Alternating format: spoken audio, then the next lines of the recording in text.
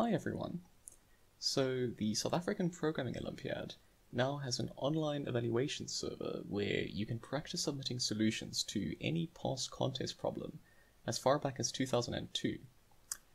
So to get started, go to any web browser and go to saco-evaluator.org.za and you'll be greeted by a welcome page as shown on the screen here. Now there are various links available, some of which will give further guidance regarding how to prep for the different rounds of the Programming Olympiad. And there are some also some links down here to other training materials which you can take a look at. Alright, so to enter the evaluator, simply click on the Enter Contest Server button, the big one here at the center of the screen. Now here you'll see a list of SAPO contests from 2002 to 2018. Select the contest which you'd like to practice. So for example, let's do SAPO 2016 round 1. Alright, now before we can access the site, we'll first need to register an account. So click on register and fill in your details. So your first name, last name, email address, and then select your school. Now, if your school is not given in the list here, then you can just select school not shown and enter in your full school name over here. Okay, and finally choose any username you like and a password and confirm. Alright, once it's done, you can click register at the bottom and now your account has successfully been created. Okay, so you can either go back to the contest list or just click the button here to go back to the login page. And from here you can enter in your username and your password. And click login. Okay, fantastic. So we've now entered the contest. Now the first thing you'll notice are three problems listed here underneath task overview. So for round one of SAPO 2016, these were speeding, maths, and encryption. You'll also see the three problems listed on the left-hand side of the screen. Speeding, maths, encryption. Okay, so let's try submitting a solution for one of the problems. Uh, let's just do the first one for now, speeding. To get started, click on Statement, just underneath the problem name on the left-hand side. Now click on Download Task Statement, and you can either open or save the file to any location, it doesn't matter what you choose. So let's just save the file somewhere. Okay, so once it's downloaded, we can open the PDF. Alright, and this is what we get. So we have a short introduction to the problem here, and it essentially tells us that we must write a program which takes in the time and the distance as input, and we must give the speed as the output in kilometers per hour the time is given in seconds and the distance in meters. Okay, so we can scroll down and we see there are some further examples given here. Uh, so for example, if the input is 30 space 1000, then the output must be exactly 120. Uh, and similarly, if the input is 4 space 75, then the output must be 67. Alright, so once you've read through the task statement and have understood the problem and uh, perhaps worked through one or two examples, we can now try coding up a solution. So let's go back to the contest page and let's go to submissions on the left hand side. Now here is where you can submit your code for the problem. Now, it's recommended to use one of the template files that we provide for a specific problem. So if you go back to the statements page, then you'll see some templates given at the bottom here. You'll notice different files for different languages. So if you want to solve the problem in C++, you can download the C++ template. If you want to use Java, you can download the Java template. Uh, for Pascal, download the Pascal template, or for Python, the Python template. Um, I, I, will mention there is certainly no requirement to use the templates. You are, of course, welcome to code up your own solutions from scratch. Uh, for now, though, we'll just stick to using templates as it provides us with the basic code layout to help us get started. Okay, so let's download the Pascal template over here. and let's save it. And you can save it any way you like. Doesn't matter if it's in the downloads folder, documents, or on the desktop.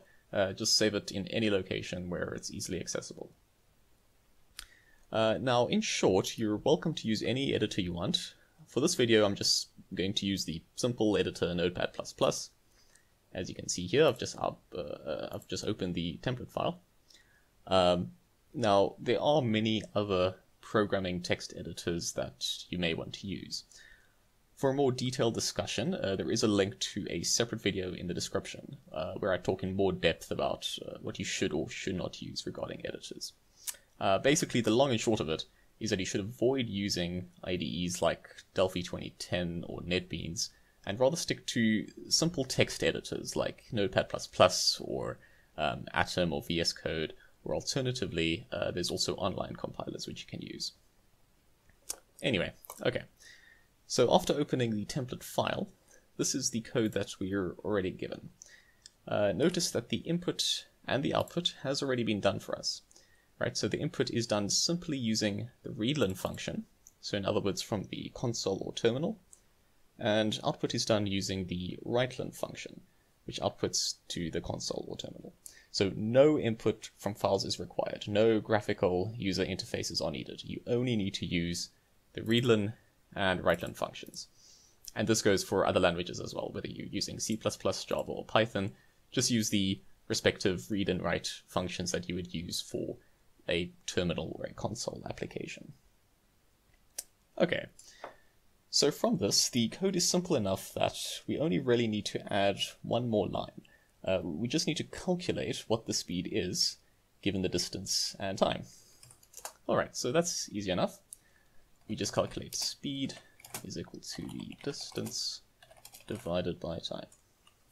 Okay, great. So let's save and let's try submitting the code. So we go to Submissions under Speeding, click on Browse, select the code that you'd like to submit. Uh, in this case, it was just the speeding.pas file, the same template file we downloaded earlier. And now click on Submit. Uh, I should mention, notice that the language will automatically be selected, the one that you are using. Uh, but if not, you can just manually select it from the drop-down menu underneath Browse. Okay, so let's submit the file. So you'll see immediately that it will say compiling. So the evaluator is attempting to compile the code which you submitted. Uh, in this case, it says compilation failed. So this means the evaluator was not able to finish the compilation stage. All right, to figure out what went wrong, let's click on details. Uh, we can now look through the compilation logs to see exactly why our code did not compile. So we see here, it says fatal syntax error semicolon expected. Ah, so I think I know what the problem is. If we go back to our code, so we can close this and go back to the code, uh, we'll notice that in this line 9, we're actually missing a semicolon. Ah, so let's put the semicolon in, and hopefully that works now. So let's try submitting again. Go to Browse, the file, and submit.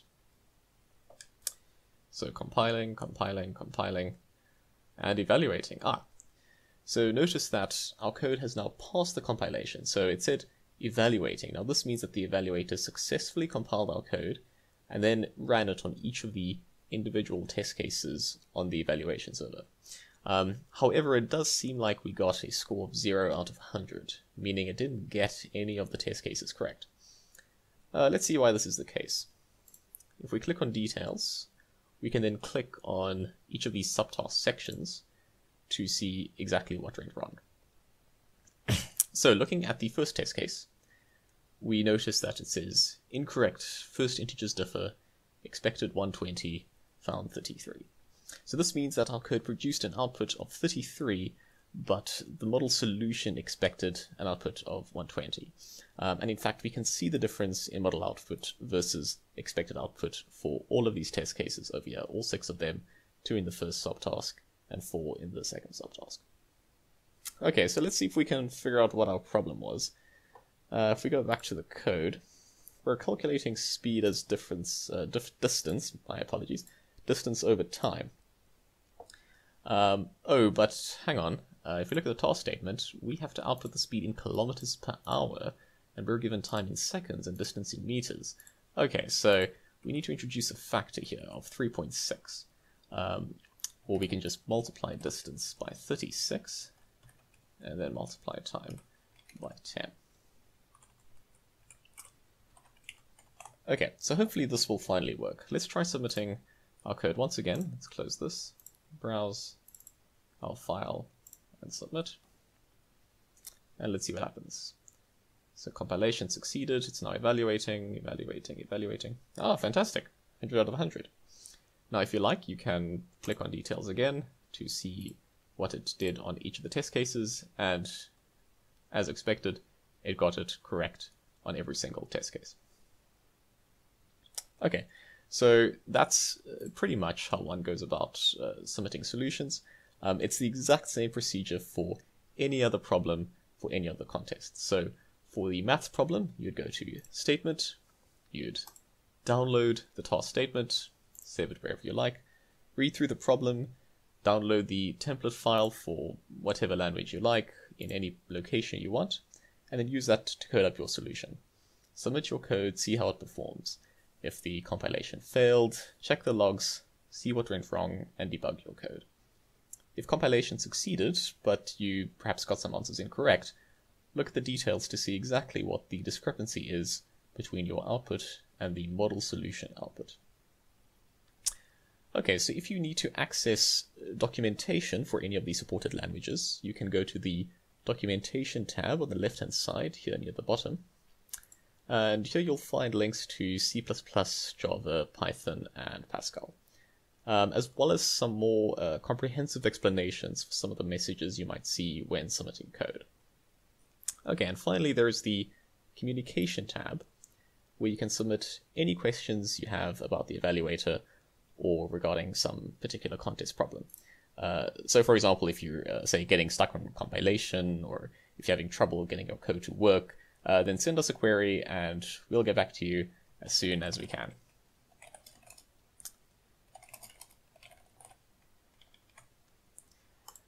So asking a question is as simple as that. Alright, so hopefully that uh, covers everything. Uh, if you do have any further general questions or uh, inquiries regarding the evaluator, or would like to suggest any improvements, then please do let us know at admin at saco-evaluator.org.za. Uh, the email is given in the description. All right. Thank you for your time.